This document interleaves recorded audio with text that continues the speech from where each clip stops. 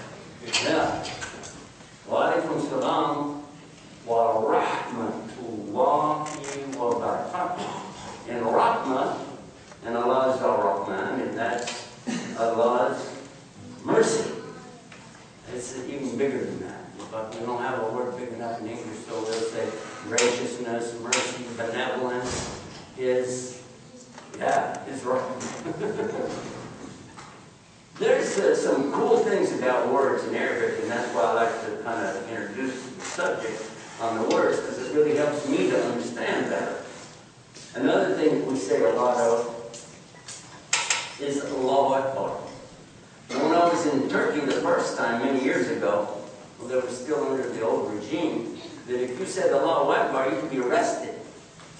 Because, yeah, they considered it, you were calling to some kind of uh, uh, military action or something. You said, Allahu Akbar, okay, grab this guy and put him in jail.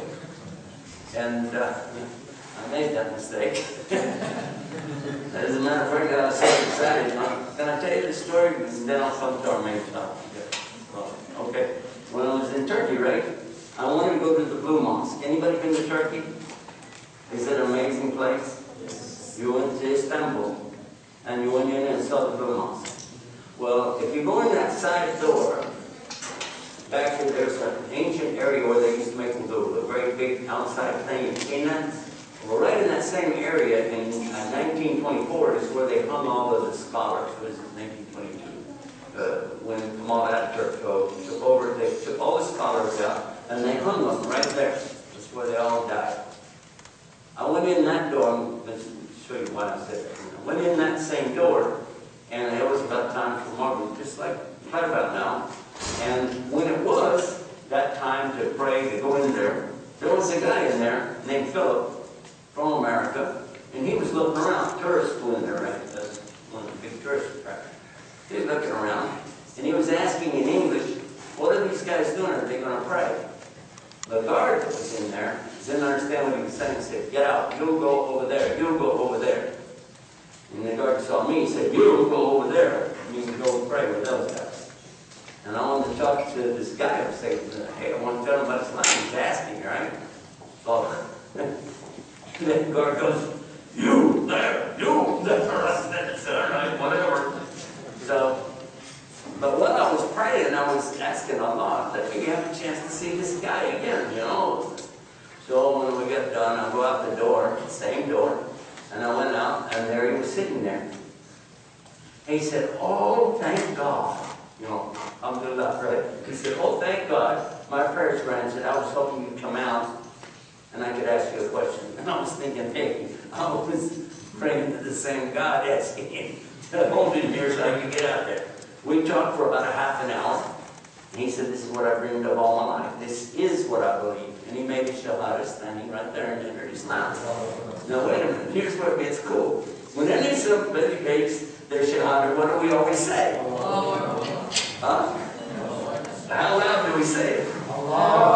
You're really loud, right?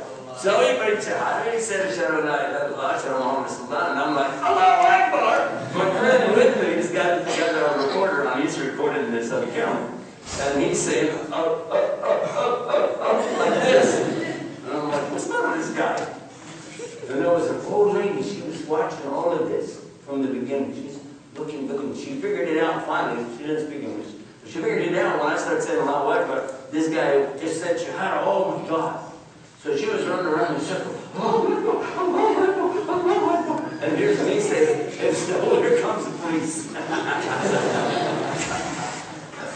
and, and the big guy comes up to me, he's got his uniform on, and he grabs me, right? And he said, hello. He worked there security for the, for the masjid. We still got that video, by the way. Can I ask question? So you're saying that the government of Turkey was imposing secularism on people? I didn't So say. the government of Turkey then imposing secularism? and- No. The government of Turkey, under the, the people that were running at that were really more secular than anything else. They just didn't want anybody coming along and trying to upset the apple cart. And it, it- it's known that some groups there, when they shout Allahu Akbar, it means they were gonna like attack or something like that. And so they saw that as some kind of uh, affront against the government. But obviously, this guy worked at security, so there was no real problem. He gave us a thrill for a minute. Alhamdulillah.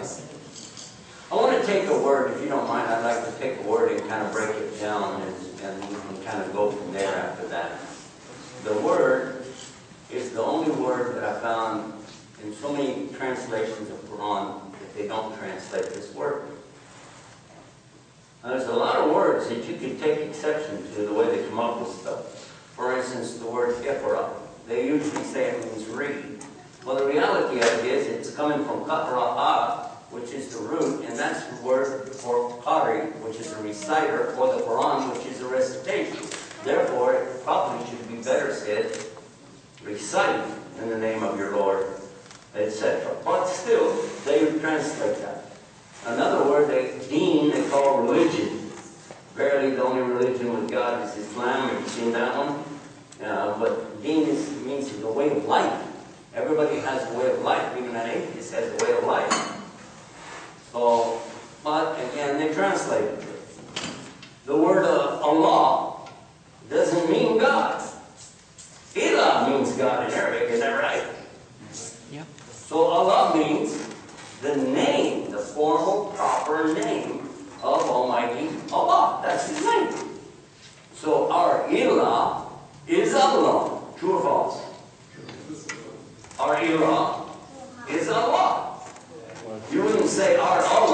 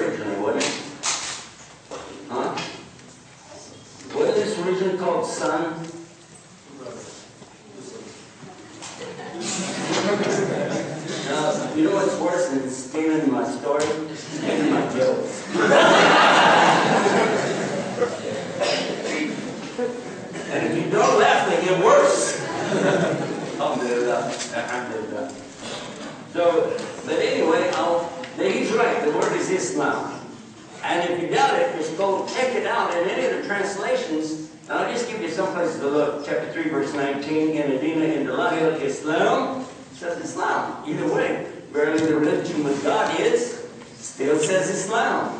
And then verse 85. وَمَنْ يَبْتَغِي غَيْرَ الْإِسْلَامَ دِينًا فَلَا يُسْلَمْ مِنْهُ وَهُوَ فِي الْآخِرَةِ مِنَ الْخَاسِرِينَ Translation says, verily, it says, uh, whoever wants a religion other than Islam, Allah will never accept it, and the hereafter, they'll be with the losers. And keep on going through uh, uh, chapter 5, verse uh, 3. اليوم أكملت لكم دينكم وأتممت عليكم نعمتي ورضيت لكم الإسلام دينا. And when you translate it, on this day have I perfected for you your religion or way of life. Huh? and conferred upon you my biggest favor and chose for you as your religion Islam. Again, it says it like that. Uh, you keep seeing Islam again and again and again. I'll just jump back further in the Quran and you'll find it all the way back to the very end. It's the same thing, all the way back. All right, so setting that aside and coming back to the word Islam, why don't they translate it? And there are several hundred attempts of translating Quran to English, Spanish, German, Norwegian, Swedish. The one who translated the Swedish was a friend of mine before he passed away, may Allah have mercy on. He used to be the ambassador for Sweden to Morocco. Mama couldn't our brothers from Norway, by the way. Anyway, they still say Islam. Why? Because the word Islam is way too big to translate with a single word. You can't. You can try, but you can't do it. Somebody playing the harpsichord?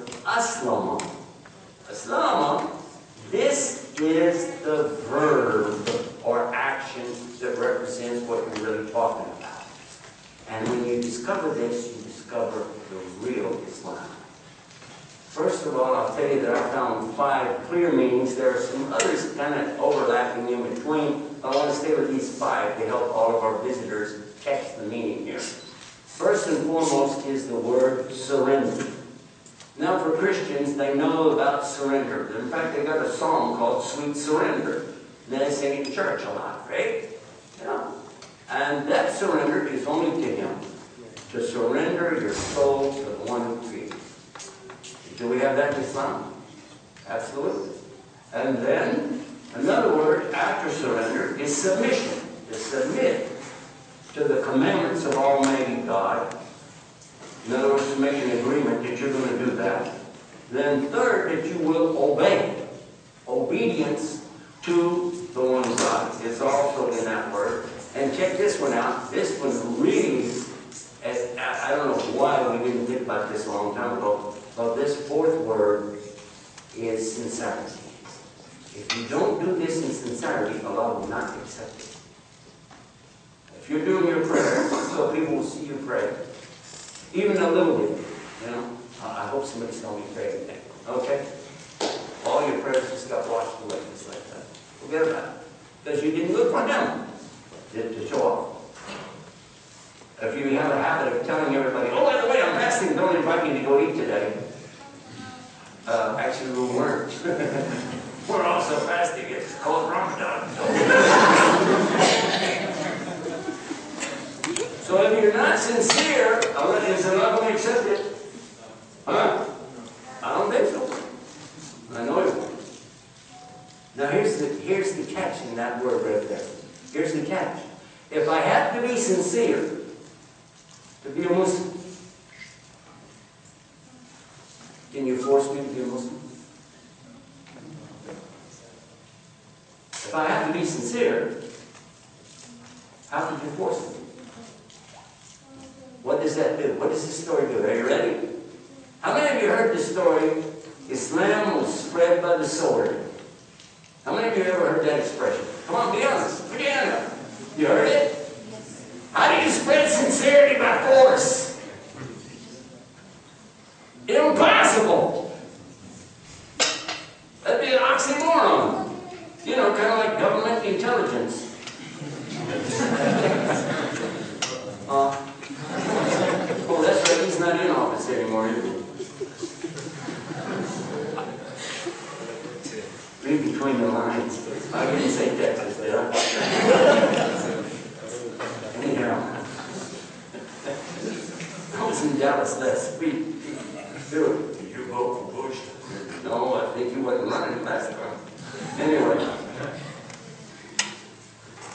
To come back to it though, the idea of people being forced in Islam to do anything means it's not Islam. We have some of our sisters, mashallah, wearing niqab, covering their faces, yeah? If anybody forced them to do it, that wouldn't be Islam. It has to be by their choice. Sister wearing hijab, it has to be by her choice. If she doesn't do it, she's in trouble with law, but you can't force her to do it. And let's just don't pick on sisters. Let's talk about brothers. Ready? Are you sure? Are you sure you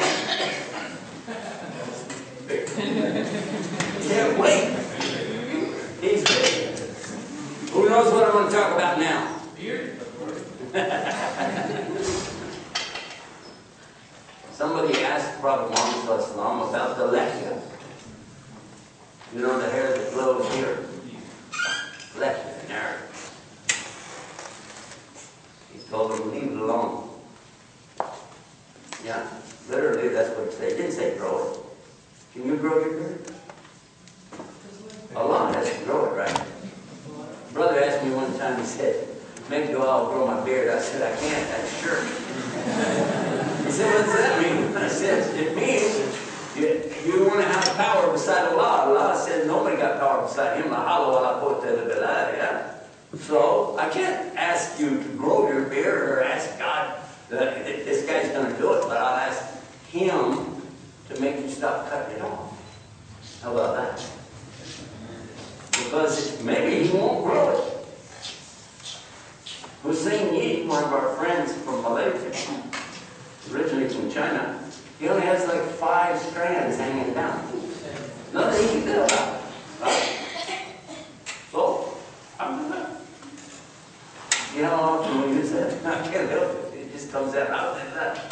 Anyhow, so we're told you can cut above the lip up here. In fact, you're supposed to keep it from rolling over and, you know, my grand, my grandfather used to call it a cookie duster. You get a on and dust off the cookie you. If your beard gets really big, it's a good place to save your snack for later. That's gross. Don't do that. But anyhow, let's come back to sincerity. Sincerity, why do you do what you do? Because if you're sincerely doing it for the Lord, He knows that, doesn't He? Now let's take the four words, and then we'll come to the fifth one. Somebody surrenders themselves totally to the Lord above. And then they submit themselves to His commandments. They obey those commandments to the best of their ability. And they do it all in sincerity to Him. That's, that's where it has to be. And then, if they really were sincere, then this should be evident that they're going to be in peace with their Lord no matter what happens. Surrender, submit, obey, get it sincerely with the one above, and then you didn't get what you wanted.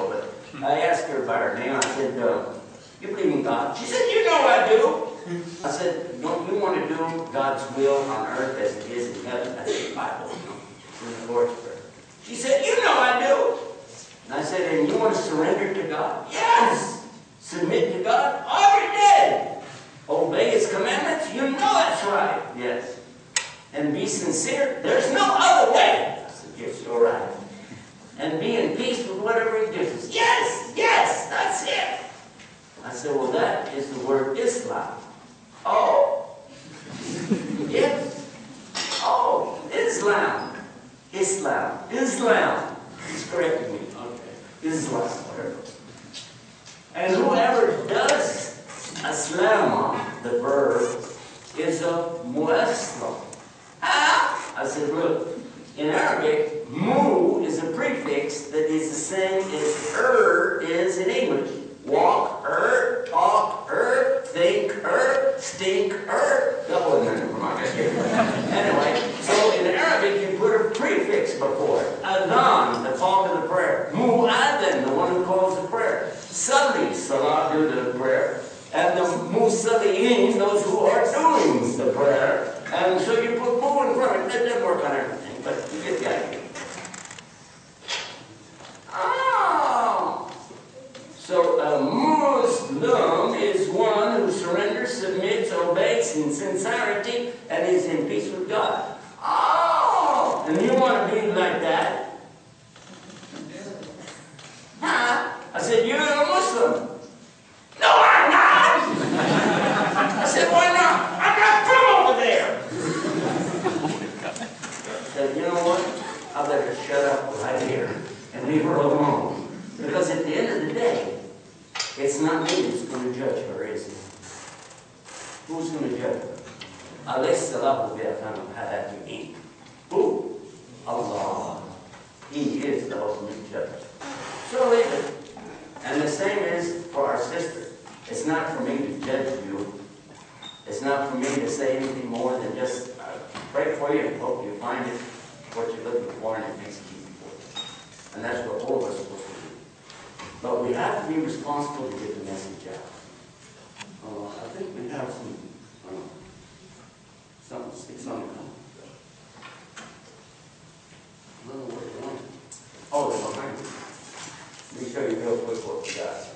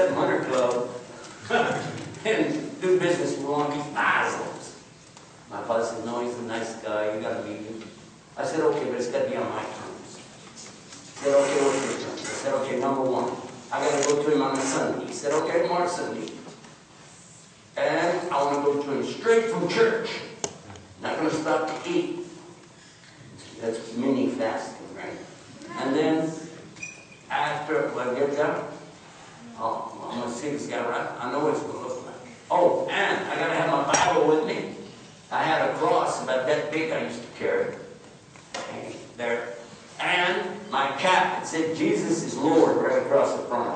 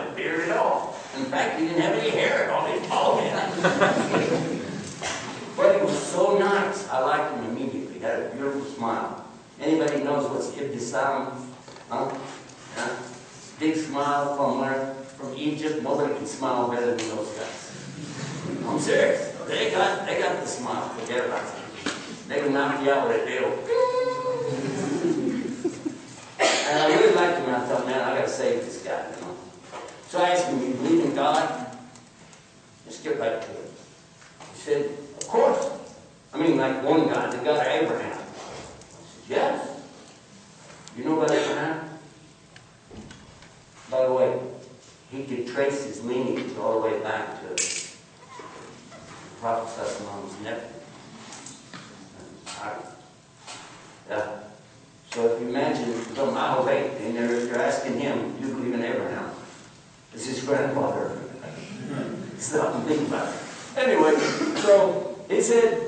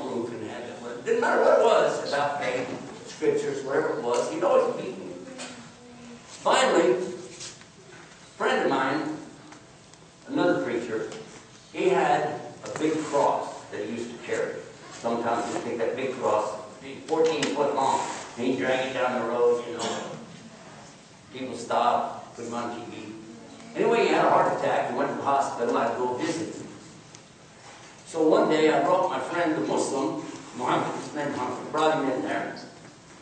And afterwards, my friend told me, said, don't ever bring him back in here.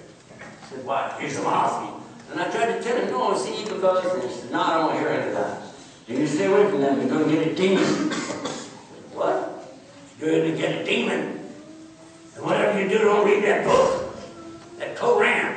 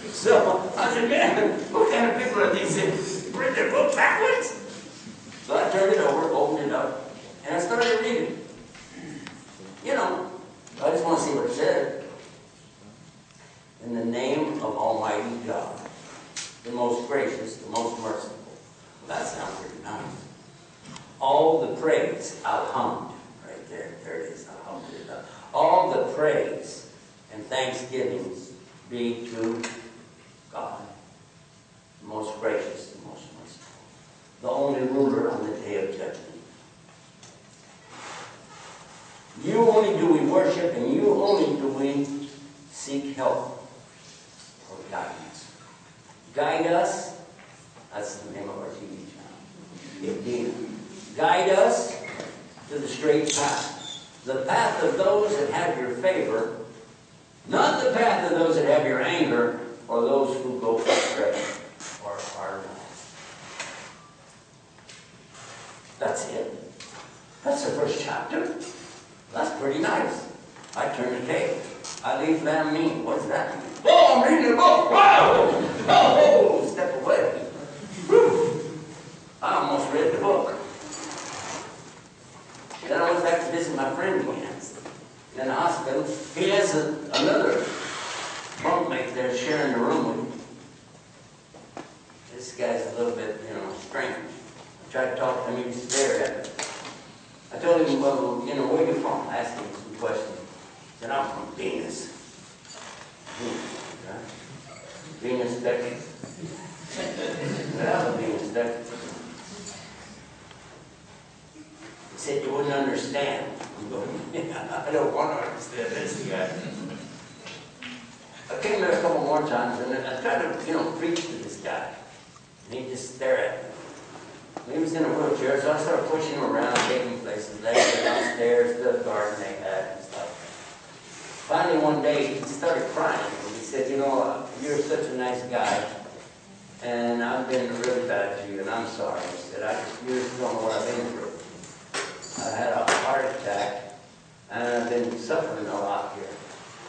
And I don't know why I'm having this problem. He said, I want to confess something to you. I said, oh, whoa, whoa, whoa, whoa, whoa. Hey, I'm not a priest. I'm not a Catholic, okay? You don't confess to me. He said, I know you're not. Because I am. I said, what? It was a Catholic priest. So I started telling him what I was learning about Islam, because I thought maybe this is, you know, it can help me figure out how we can get this Muslim to Christianity. You know, Protestant and Catholic together. Hey, look at this guy. But he told me that Catholic priests have to study Islam. We already know about it. I said, what? I said, yes. He said, everything you said is true. I said, what? He said, yeah, they pray five times a day, they fast Ramadan. He started whipping it down. I'm like, whoa! That surprised me. How come I never heard about this before? Then, when he got out of the hospital, I invited him to come out to our home, stay with us for a while. While he was convalescing, he could help me kind of give some Christian dawah to the, to the Muslim, yeah? So he came with me. Now, the Muslim is living with us. My father's there, it's his house, his wife, me, my wife, my daughter, all of us there in the same great big old house. Give you an idea about that. So when he get out there, we got the out there, I said, now we're going to start first night right off the bat. Ah, yeah. Let's talk about the Bible. So I pulled out my Bible. About that time, my dad pulled down his Bible. Now my dad's Bible is KJV, King James Version. But I got the Revised Standard Version, which has a lot of better manuscripts that are relied on, more accurate, and explain some of the mistakes in the KJV. So right away, we're in an argument over that, me and Dad, right? Then my wife pulls out her Bible by Jimmy Swaggart called Good News for Modern Man. And that's totally huh, relaxed. Very relaxed translation. And now we're into that. Now, here comes, now wait a minute, up to now we're just dealing with Bible's versions, but all with 66 books. Catholic Bible has 73 books. It's a good thing we didn't have anybody who's Orthodox, their book is at 78. But anyway, we're into it now, blah, blah, blah, and this book, no, mine, and yours, and that. And all the time, here's Muhammad is sitting over there. and I'm thinking, oh, this is going the wrong way. Stop, halt. I said, let me get, turn the focus away from this nonsense. By the way, Muhammad, how many of that versions of that Koran got you guys got? One. And it's only the Quran and the Arabic. And every single on the planet, all of these books are identical. There's not a single dot that is different, not a kesra, not a doma, nothing different from one to the other. Hundred percent. You're like, but, listen to this, but we don't rely on that. We don't rely on this. We rely on the spoken word because all Muslims are memorizing the Quran in Arabic. Huh? Now I think, wait, wait, wait, wait, wait. How did we fall into this trap? Hold on. You're telling me over a billion people, well then it was about a billion and a half, but we're now 1.7 billion. You're telling me that all of them are reading Arabic? He said, yeah, and most of them are not Arabs. 88%, by the way, are not Arabs. How many in this room are Arabs? Arabs, raise your hand. Okay. Now, put your hands down. Now, Muslims, non-Arab, raise your hands. Now, put your hand down if you don't want to memorize the Quran.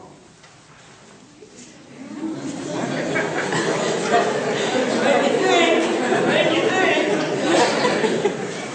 Want to make it easier for you? How many in this room would love to memorize the whole Quran? All of us. Gotcha, now. Don't never not do it. When he said that, I was thinking, oh, wait a minute. He said, and all of us, we know it's been passed down by memory from mouth to ear, mouth to ear, mouth to ear, never passing mistakes, always going back and verifying. I said, man, why did I come up with this deal? Let me try something else. So forget that. The next day, I went over to my friend, and I was telling him, the one that carries the big cross, and I was telling him what had happened. He said, I told you, I told you, stay away from them monsters, you're going to get a demon, son. so I got another idea. Next night, let's try it different. got a new idea. So, best way to introduce Christianity, let's talk about God. And he said, oh, that'd be wonderful, I like that. Now I got everybody sitting around the table again. Let's about God. He said, you know, I've always wanted to ask a Christian this question because I don't know. I said, ask me anything, son. He said, how, and you guys believe that there's one God, right? Said, of course, one God. He said, well, how do you explain Trinity? Uh, do you have another question? But I can see in his face, he ain't gonna buy the stuff that we go into, takes a lot of, you know, and then you have to, and you- because uh, how is one equal three? Well, it's not really one equal three. Okay, then it's not a trinity. Because trinity, tri, T-R-I, means three. Unit, one, by, two, try, three. So is it one or three? No, it's like one in three, or like three and that. Well, how do you explain it? Okay, here we go. The apple, fufa. The apple has the red on the outside. Up. Huh? Then inside you have the part you eat. And inside of that are the seeds. But you still have one apple, right? Seeds, the stuff you eat, and the red, the skin, right? But it's all one apple. He said, do you count the seeds? Huh? Then it'd be a lot more than three. No, no, no, no, no, no, you don't get that idea. What if it's a worm in there? The worm? No, oh, come on, man. That's... Next day I'm back over with my friend again, right? And I'm saying, you know, he said, I told you, I told you. See, you're going to lose your faith now. Should have told him about the egg, baby. Yeah, that's a good one. Let me try that. Okay. Now, you know we're talking about the. Now, the egg has a shell, then inside is the white, and inside the yellow. Got it? Right? And uh, and the skin. Got it? He said, well, it's a double yolk? The guy becomes four. Now, instead of a triangle, you got a square. Now, we, I'm like, oh, no, no, no, no, no, no. That's not fair. That's not fair. But you're comparing God to an egg and an apple. So what I'm saying there is, it would be better not to compare God to anything. How people want to understand it, let them alone, but that, that is not the way to go. I to give up on that. Now, here's what's happening in the meantime. Watch this. All the time I'm going around doing that, the priest, Catholic priest, he's studying Islam with this man, learning more and more about the real history of the church, the real history of Islam, and they're sharing information back and forth. He asks him, Can I go to your temple? He means the mosque. And they go. One day before They come back. When they come back, I take the priest aside. What did they do? Seven. What do you mean? Well, like, do they slaughter animals or make bombs? Or, what were they? They said, no, they lined up like monks and stood there silent. And then they bowed, prostrated. It was beautiful. And then they left. I said, okay, what kind of music did they have? he said, they didn't have any music. I said, what? How are you going to worship God with no music? I was a music minister, by the way. So you know what was my role, I never told you. Music minister. I'm the one who sold them the organs and pianos and would go make sure it all worked properly and play the music. That was my deal. So you come to me now and you're telling me these guys don't even have any music. Wow! What are they missing? Yeah. So then, a few days later, the priest said he wanted to go back to the masjid. Only that day, they didn't come back right away. I started getting worried. Maybe they had an accident. We lived out in the country. In is a side issue. GuideUs TV's channel is broadcasting from the same antennas that were just down the street from my house where I used to live up there. Just by coincidence. And there's another way to stick the commercial in there for GuideUs TV, but true story. Anyhow, when they finally did get there, it was dark, and I saw the Muslim getting out of the car, recognized him right away. You see that bald head shining out there. But then there's somebody else get out the other side. This guy's got on a white dress and a pillbox cap on his head. I looked at him, I said, Pete? His name's Father Peter Jacobs. I said, Pete, did you become a Muslim? He said, Ashhadu la ilaha illallah. I said, "Muhammad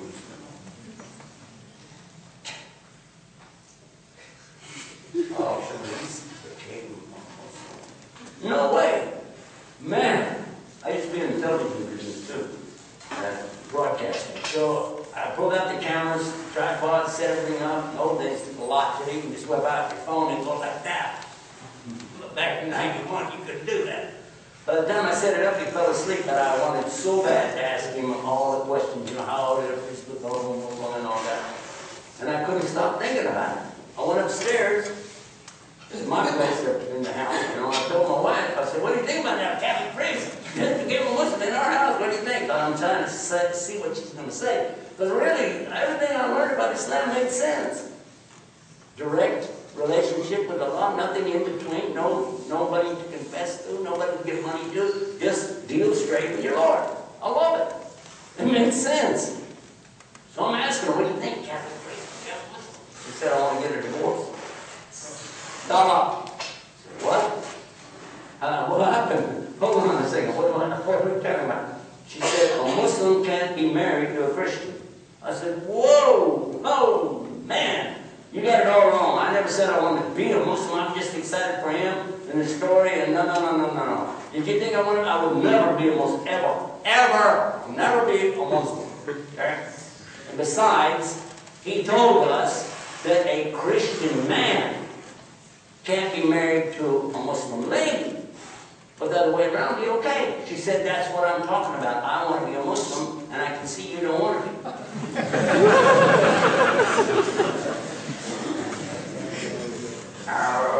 Okay. Back it up. Let me try that again. Hey, good news. Seriously, I did that. I said, good news. I too wish to be a Muslim. I wish it was that easy. She looked right at me and she said, You're a liar. I said, No, I'm, being serious. She said, You're a liar. No way. I said, No, seriously, I was just was trying to see what you were saying, and I thought, because in the. She said, You're a liar. You're either lying right now, or you're lying five minutes ago when you said you wouldn't be honest. Either way, you're a liar now. Get out. I was halfway down the stairs, you know, and I realized, hey, she just kicked me out of my father's house. How does that work? Hmm. So I went down, I woke up the Muslim. About 1 o'clock in the morning by now, you know. I'm waking him up. I said, you're me, we got to talk. He's like, whoa, what happened? Said, let's go. So we started walking down those old country roads and talking. I'm doing the talking, he's doing all the walking, and I just thought, uh, uh, uh, because I don't know what I'm gonna do. My head is just swimming. I, I think about Islam, I think about my life, I think about my position, my job, my work, what I do, the, the, the people that I know, the congregation, man, now, you know, but I traveled back then to go a lot of places, and along the way I would stop in and give these lectures and stuff, and I'm like, oh man. Then he said to me this, by now the sun was just about to come up, you know, Father time. He said, you know, this is not about you and the congregation. This is not about you and the people. Not about you and your father, not about you and your wife. It's not about you and me. It's about you and your Lord. You're talking to the wrong one. You need to go talk to him and sort it out. And then he said he's going to go do his pleasure, morning prayer. I'm thinking, now wait a minute. I really expected more than that. I mean, you could at least put a little hammer hold on me or something. Come on, be a Muslim, you know, and I'd be like, okay, yeah, why not? That's how he left me. So I went out behind my dad's house and I found a place back there that looked pretty good, you know. I said, I want to do like the Muslims do, you know, they kind of like face in that direction over there, whatever. And you know what? Get that hat off you know, put my head down on the ground. And with my head on the ground, the same way we make substitute. I was trying to think what I'm going to say. By the way, I- I'm pretty good at coming up with words, it doesn't matter what, or when, or where, or how. But on that day, there was only two things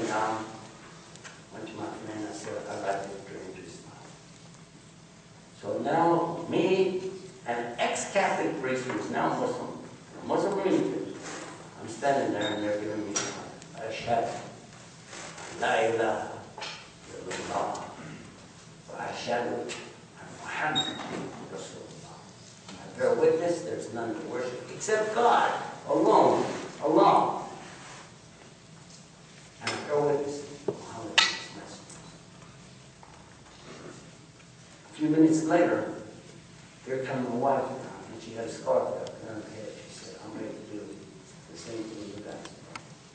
She introduced us now. It wasn't right away from my dad, that's a whole nother story, but he also came to Islam. He passed away and came and lived with us. Beautiful stories. My daughters pulled them out of Christian school and raised them at home.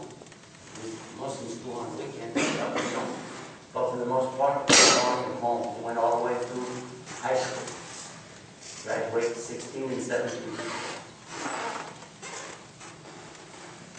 One of them, she's now married to one of our brothers who studied and became a bachelor, his bachelor in. And, you know, that one living with us across the street from one of the biggest monsters in Ohio. Imagine. And it all came about one guy from Egypt.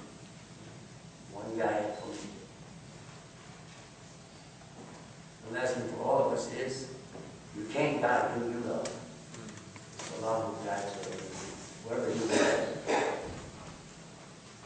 The other lesson is, you do have to try to put the message out the best way we can. Be patient with people, and then let them want.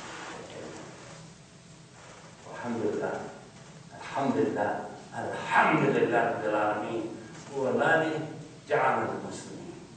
Praise be to the one who gave us the guidance to come and remain as his servants, as Muslims. Jazakumullah khair. Assalamu alaikum wa rahmatullah. For any questions, see me after Juma tomorrow. Give it back.